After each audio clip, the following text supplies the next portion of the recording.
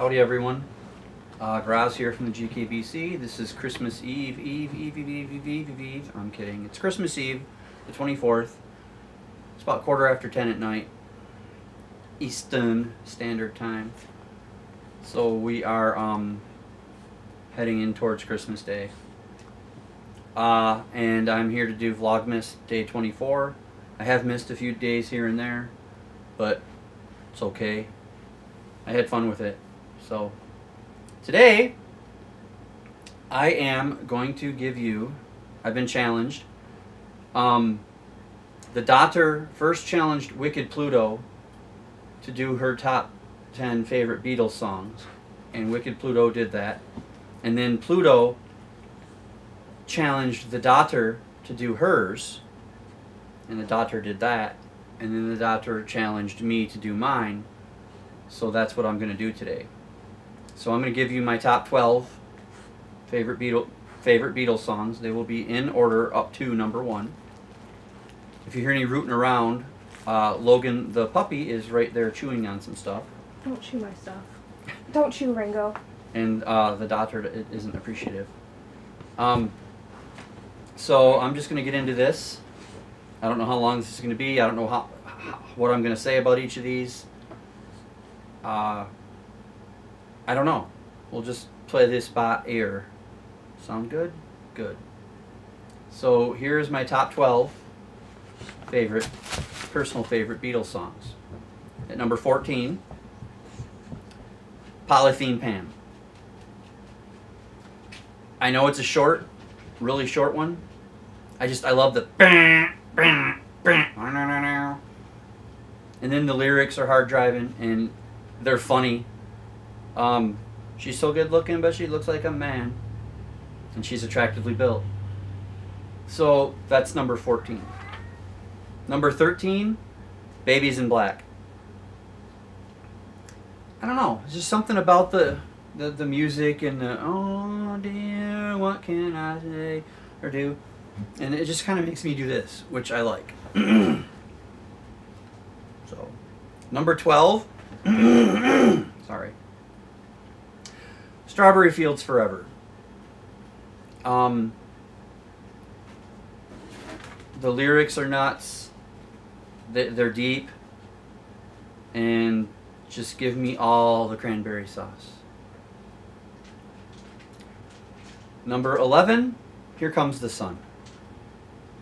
I, I, I, I also feel that any top Beatles list wouldn't be complete without Here Comes the Sun.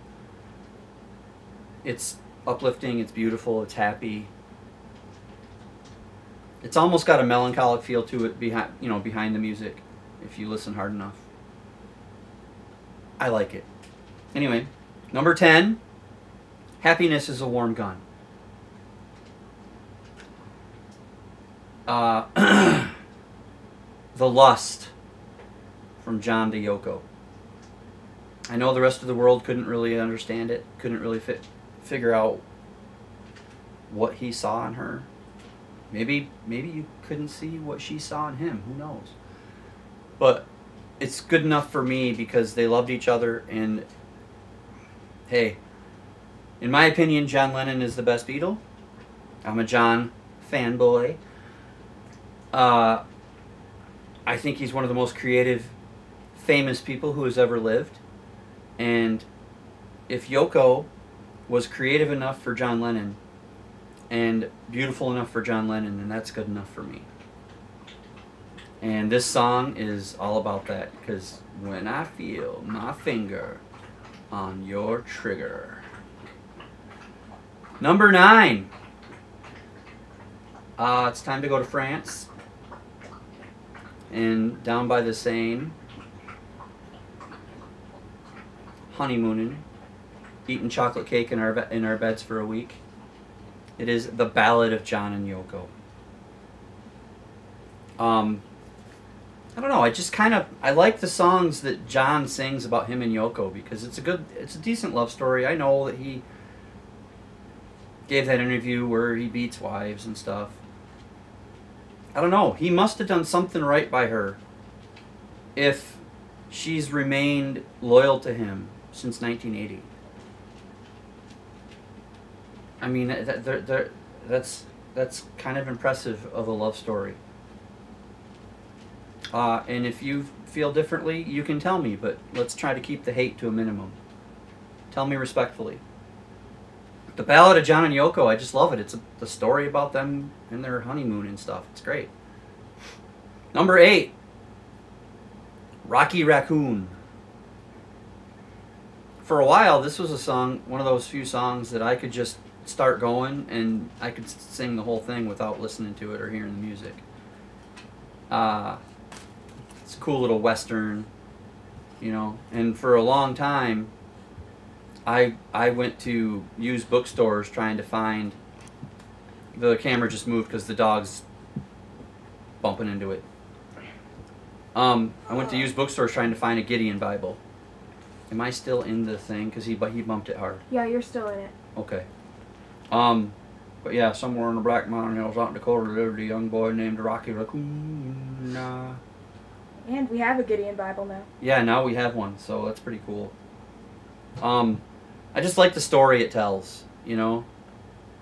I mean, Rocky goes to all that tr- all that work and all that trouble to get his revenge, and loses. Kind of like real life, you know. You don't always get your revenge. You don't always get your satisfaction. So, uh, number seven. I'm slamming through this. It's okay. Number seven, we have Norwegian Wood. Another John Beauty. Um, this one sounds like a one night stand. Uh, I kind of, I don't know. It's just, this has always been one of the prettier ones for me.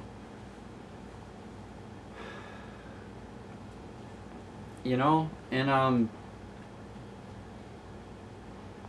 I just I don't have a whole lot to say about it. I just really like it. I like the melody. I like the lyrics. I like songs that I can just kind of sing mindlessly along with. So, number six is If I Fell.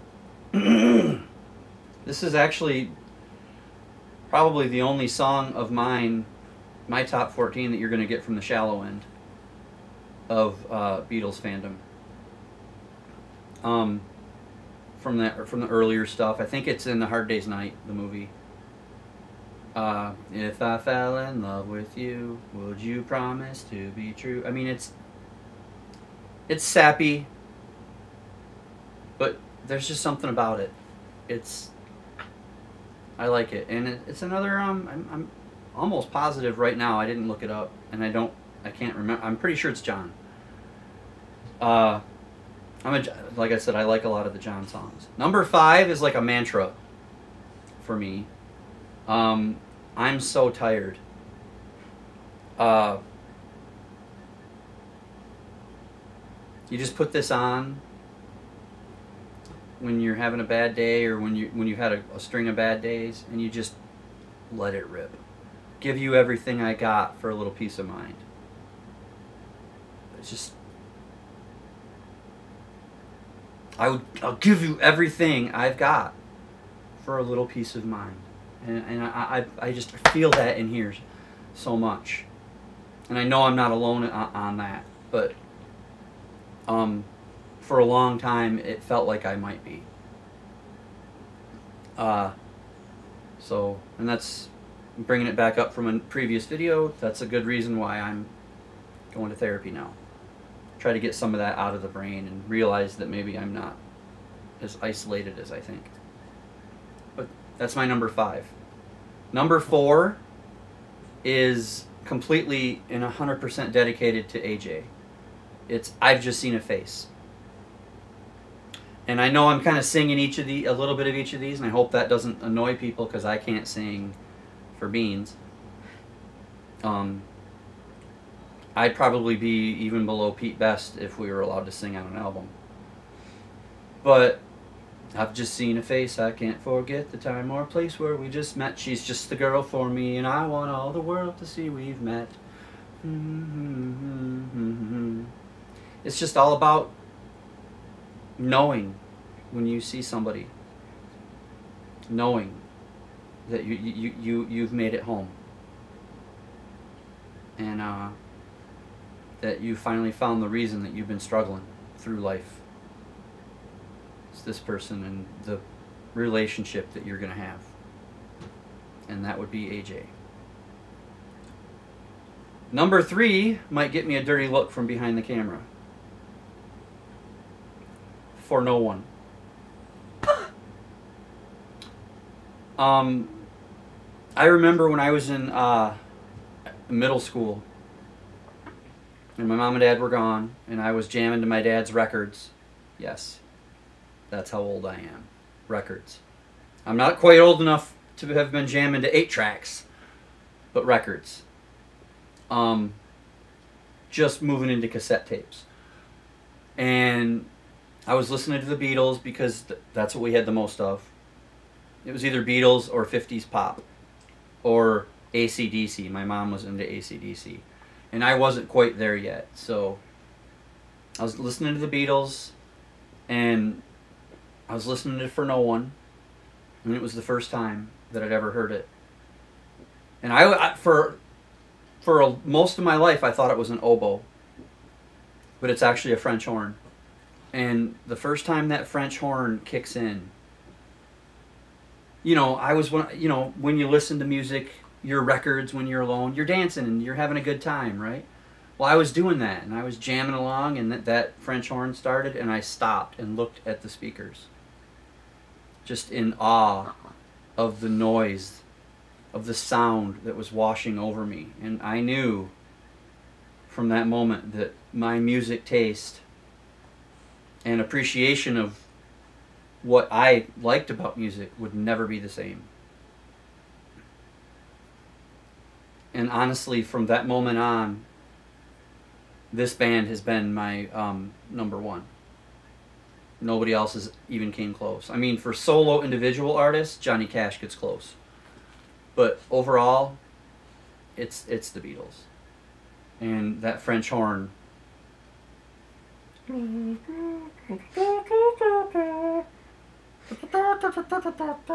And then the doctor showed me a video where Paul's singing it and he's doing that with his mouth. He's like French horn and he I love it. I like how that's the song that got us both into the Beatles the way we are now. Yeah. Well, that shows how powerful it can be. Okay, my top 2. My top 2. I know the doctor knows what number 1 is. But does she know what number 2 is? Probably not. Two of us. I love Two of Us. The opening, which is so random and weird, thanks, John. I Dig a Pygmy by Charles Hawtrey on the Deaf Aids. It's a death aid. Phase one, in which Doris gets her oats. Who knows? But it's got some lyrics in it that are just two of us standing solo, wearing raincoats in the sun. Well, you're wearing raincoats in the sun for one, and there's two of you, but you're standing solo. And and if you think about that, how many of us have have, have had that, and not never really focused on it? where you've act where you've been with another person, not necessarily being with them, but just like sharing a space with another person, whether intentionally or not. But you're all alone. You know? Dog's dreaming. Are you okay, buddy? But yeah, so I just it just it's one of those songs that just speaks to a, a heart and a, and, a- and a brain. And, It's okay, buddy. will you wake him up, please? Here, come here. Go over in Grandpa's chair. I mean, seriously. Um, but anyway, I mean, he's making me lose my train of thought. Obviously, you're a Rolling Stones fan. Um, but it just it speaks to just that part of you where you could be surrounded, even by family members, and just feel so isolated and so alone. And it kind of almost lets you know that it's still going to be okay. so that's my number two. Number one is Blackbird. Uh, in all the years I've been listening to music, which is a while, and all the songs I've heard, which is a lot. I think that I've only heard one song that's prettier and more beautiful and strikes the chords of my heart more than Blackbird. Uh, what? Blue Bayou. It's and yeah, Blue Bayou by Linda Ronstadt. But Blackbird is not just my all-time favorite Beatles song. Now notice Blue Bayou is the prettiest song. Blackbird is my favorite song period. Everybody. And it's it's hard to explain. It just it's something that I really I love the music. I love the lyrics. Um, you all your life you've been waiting for this moment to be free. It's, it's beautiful. Um, but anyway, that's my top twelve plus two of uh, my my favorite Beatles songs in order. Um, you know, I challenge any of you out there to, to do your top 10 favorite Beatles songs if you like the Beatles that much. Um, count the colors in your bedroom. Uh, you know, and I tried to keep it brief. Um, I said um a lot. Trying to articulate my words to how these songs make me feel. It's hard to do. Anybody that really thought, really knows music understands. It's hard to do. But anyway, that's my top Beatles songs for Vlogmas Day 24. Merry Christmas, everybody. And uh, I'll see you next time. Um, might be tomorrow. It's definitely going to be the next day for Harrow County. But until then, keep jamming.